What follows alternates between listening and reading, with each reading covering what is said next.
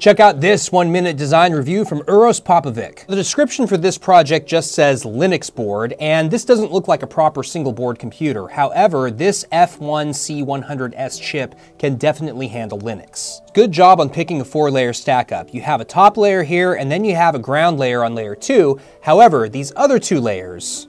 Here we go.